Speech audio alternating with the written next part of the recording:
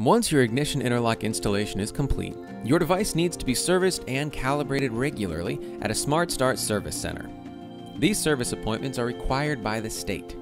Most states allow service at any Smart Start location nationwide.